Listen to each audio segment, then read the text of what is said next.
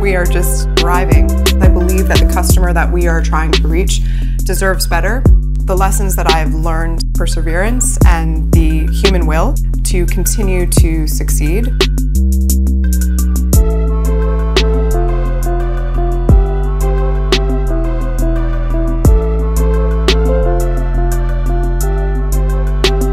We made this cocktail with people in mind, with the planet in mind. The legacy is changing the way the world drinks, even if